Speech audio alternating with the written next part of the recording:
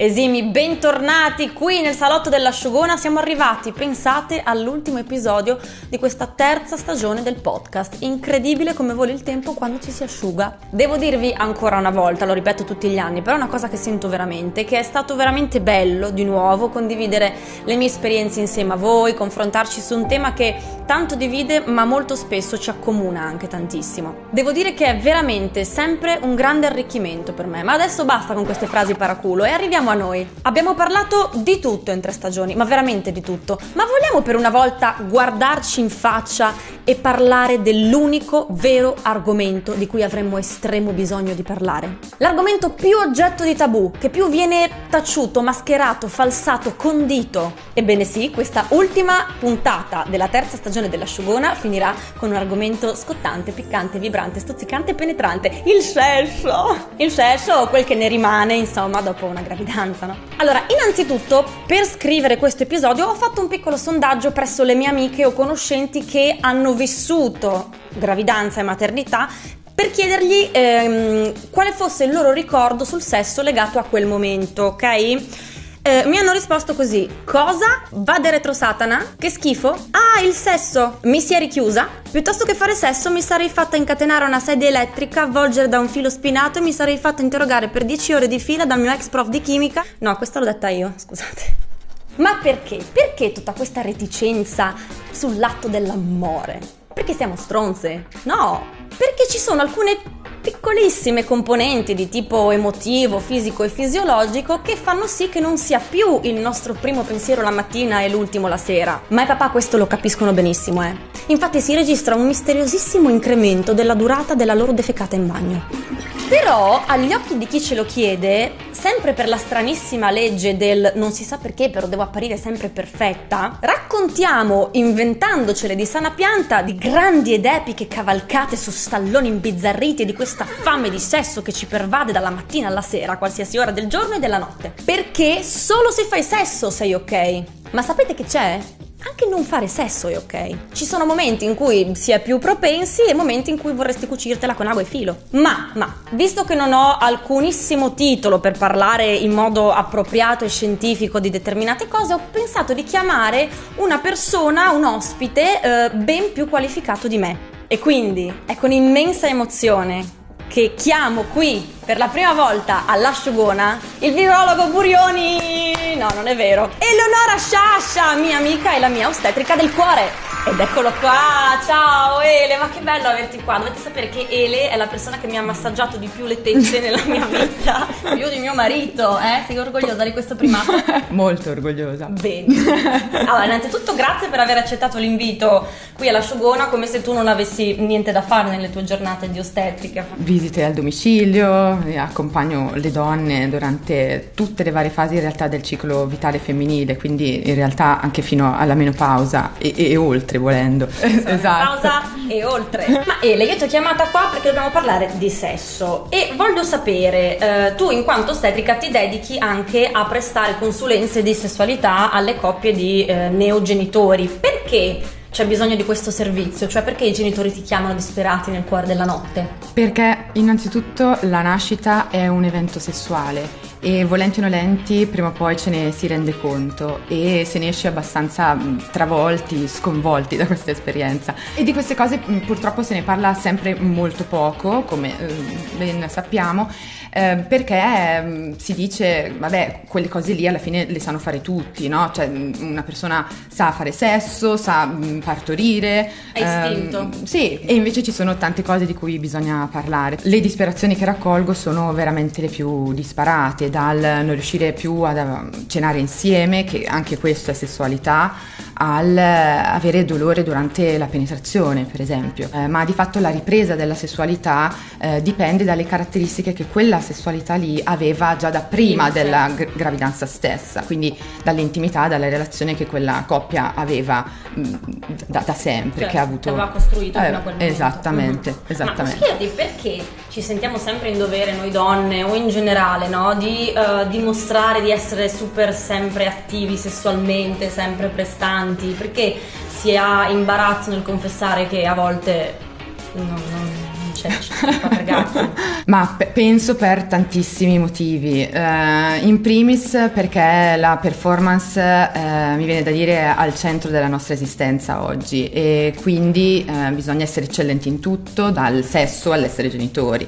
La donna ha piacere durante la gravidanza, prova diverse forme di piacere, il suo corpo cambia forma, certo, il suo sistema neuroendocrino si, si, potenzia e ecco di queste cose mh, di nuovo mh, mm, se ne parla veramente poco perché non c'è una comunicazione vera tra donne libera, sincera. Eh, ecco, è importante eh, ricordare che una donna desidera avere rapporti sessuali in gravidanza mm, e, oppure non desidera avere rapporti sessuali in gravidanza, è normale, ma come normale nel resto della vita, no? mi viene da dire, nel senso che mh, mm, non bisogna avere sempre voglia di mh, fare sesso eh, oppure eh, masturbarsi e tutto Grazie. il resto, ok? Eh, si, si può proprio stare tranquilli. Ma senti, e c'è dell'imbarazzo nella coppia quando vengono affrontati certi temi?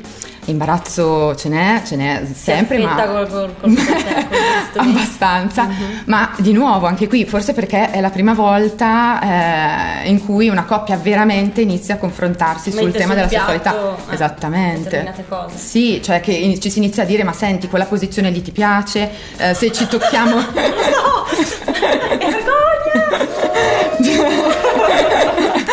Scoglio che ritieni più eh, insormontabile, più difficile da superare eh, fra una coppia insomma, che ha avuto un bambino da poco?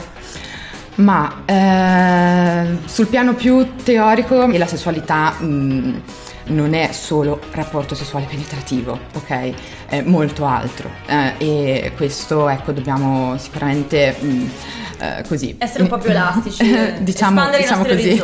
Esattamente. Mm. E poi eh, sicuramente sapere che il bambino, se vive in un ambiente in cui ossitocina, endorfine circolano attorno a lui, eh, che è il famoso cocktail dell'amore, eh, sta bene, è sereno, dorme. Allora, Ele, arriviamo al mio momento preferito, ovviamente senza fare nomi, ogni riferimento è puramente casuale, ma ti prego, raccontami qualche aneddoto divertente che ti è capitato di sentire con qualche neogenitore? Beh, mm, una mamma mi raccontava che non erano riusciti ad andare a comprare il lubrificante sì. e quindi mm, hanno utilizzato dell'olio che era rimasto in cucina misto ad acqua, ma olio stato un po' olio d'oliva. Oh! È stato un po' un disastro. No!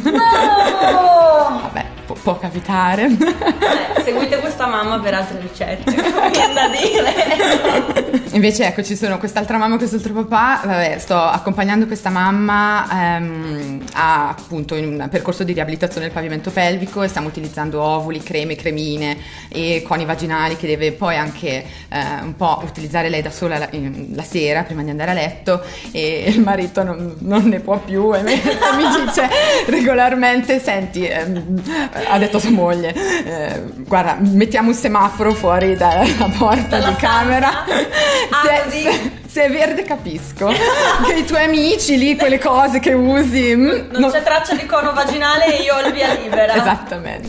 Fantastico. Un, un tema che, che, in realtà, cioè una cosa che succede molto spesso e che mette anche un po' in difficoltà eh, è il momento in cui all'apice dell'orgasmo scoppio di ossitocina, donna super eccitata, tutto veramente wow, finalmente ce l'abbiamo fatta latte dal seno oh, che sgorga. No. eh, e no, quindi lenzuola bagnate. eh ragazzi è così buono. Ecco e quindi, quindi? il marito le volte successive ha detto senti organizziamoci perché se succede ci penso io poppata di latte no cioè, lo beveva lui? Vabbè, ragazzi, no? E le lenzuola vanno Lo consiglio anche io ogni tanto, sappiatelo. Volevo ehm, farti un'altra domanda legata al pavimento pelvico. Ma gli uomini sanno che cos'è il pavimento pelvico? Pensano che sia un tipo di parquet? ecco sì, penso che... Penso Quella è l'informazione di base che Penso proprio di sì e infatti... Eh, penso che aspettino di sapere se il piastrellista l'ha posato bene eh, invece ah, di chiedere lì così, capito aspettano che si asciughi mm, la eh, posatura mm, okay. eh, invece di magari chiedere alla partner mm, come, come va laggiù, esatto. Okay. Posso essere... Perché c'è qualcosa che possono fare? M- ma magari, no? Anche solo guardare, aiutare, toccare, massaggiare, assolutamente sì. Un sacco di cose, proprio um, questo tipo di comunicazione e contatto e massaggio eh, permette sicuramente una ripresa più serena anche in questo senso, quindi no, diminuisce l'imbarazzo nella coppia, no? Mm. Ho una domanda. Vai. Scusa, esiste una donna sul pianeta che faccia gli esercizi per il pavimento pelvico che consigliano al corso preparto? tu ne hai mai conosciuta una? Sì, in realtà Vera- sì. Mi stai facendo passare per l'unica che non l'ha fatto? No, no, ce ne sono Tania, tanti. Tania, l'hai fatto? Certo. Veramente? Sì. Cioè ti mettevi lì col pollice... Il co- non è vero sono tutte baggianate. Ci sono donne. Basta, chiudo in me stessa. Ele, non pensavo fosse possibile, ma mi hai asciugata tu. Cioè, abbiamo parlato, io credo, 47 minuti, sarà impossibile ricavarne un video breve, ma ce la faremo. Ti chiedo in chiusura, le domande sarebbero tantissime a me, se c'è qualcosa che ci tieni a raccontare alle mamme asciugone e papà asciugoni che ci, che ci seguono, se c'è una tua un po' morale della favola qualcosa che ti va di, di dirgli. Uno dei segreti a cui noi ostetriche teniamo di più è che la vulva e la vagina si trasformano. Si trasformano nella sessualità, no, il pene va in erezione e la vagina diventa accogliente nella sessualità. La vagina fa lo stesso tipo di trasformazione nel momento della nascita e chiaramente no, arrivando a 10 cm, no, di diametro della testolina più o meno di tutti noi. No? Certo che queste trasformazioni eh, sono possibili se l'ambiente è, è, intimo, piacevole per quella donna e se c'è desiderio, se no mm, di che sessualità è, no? mm-hmm. che rapporto sessuale è. Grazie Ele, eh, sono state dette un sacco di cose, io credo che un po' da tutto questo discorso si vinca il fatto che sessualità vuol dire tante cose e che non c'è una sessualità giusta, corretta, standard eh, a cui puntare prima o dopo il parto. Io credo che ogni coppia trovi la sua e che va sempre bene così. Assolutamente sì. Ciao dall'asciugona, ci vediamo alla prossima stagione da Eleonora Sciascia, eh, contattatela su Instagram, è bravissima, e, e dal signor Clitoride ovviamente. L'appuntamento è all'anno prossimo, chissà quando. Ciao!